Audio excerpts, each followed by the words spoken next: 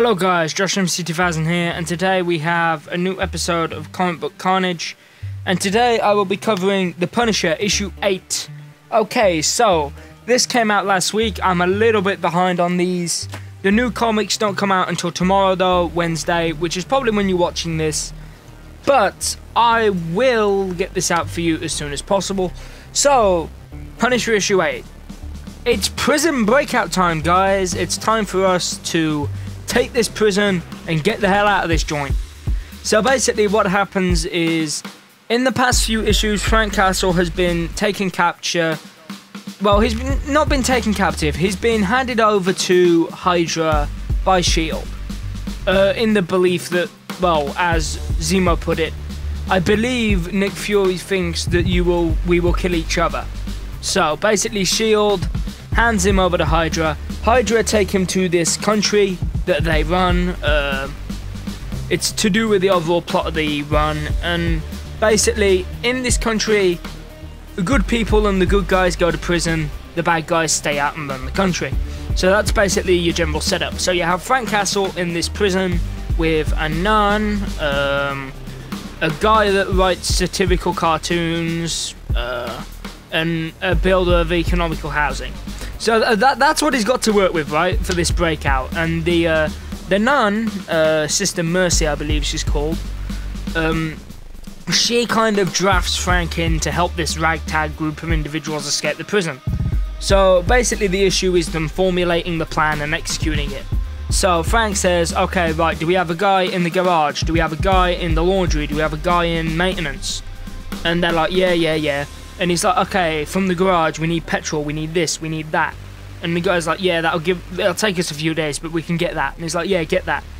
And then he says to the guys in maintenance, look, here's the plan. You need to go in here, you need to bust this up, and then we're gonna put it in through there and put it in through the water system. Uh, and he's like, I've studied the layouts. This is where this is. This is where this is. And basically, they they come up with this really elaborate plan to basically just completely take over the prison and uh, the issue ends with the prison in control of the Punisher and all the inmates.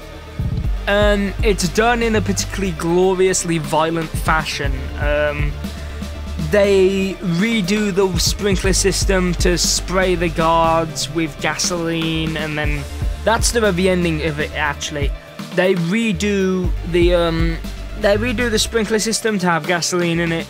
They in this one room they lock the remaining guards in this one room, sprinkle it, and then Frank just throws in the lighter. They also get control of the command center and like just cut off all radio to the outside of the prison. It's a very organized, very surgically precise plan, which is very Frank Castle, very Punisher.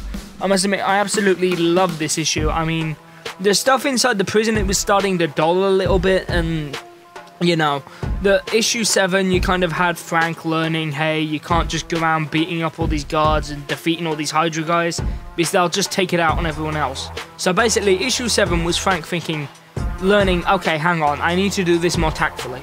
So he figures out how to do it more tactfully and then in this issue we see the payoff to that with prison break. And I'm actually really interested to see where this is going right now. The Punisher is probably my favourite run so far at Marvel that I'm reading, this version of Punisher has been really good.